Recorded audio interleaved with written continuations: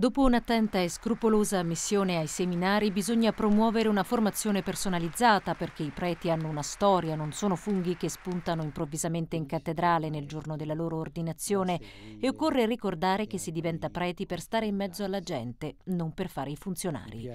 Incontrando i partecipanti al convegno promosso dalla Congregazione per il Clero a 50 anni dalla promulgazione dei decreti conciliari relativi alla formazione e alla vita sacerdotale, Papa Francesco ha ricordato che un buon prete deve essere un apostolo di gioia, non triste, nervoso e duro di carattere. In un discorso pronunciato largamente a braccio, il pontefice ha insistito molto sulla missione ai seminari attraverso un'attenta selezione. Ha chiesto ai vescovi di essere vicini e presenti con i propri sacerdoti perché altrimenti è meglio dimettersi e ha invitato i preti a essere vicini alle persone, non filantropi o funzionari, ma padri e fratelli. A tutti Papa Bergoglio ha chiesto di avere misericordia e un uno sguardo amorevole, soprattutto nella confessione, benedicendo quando non è possibile assolvere.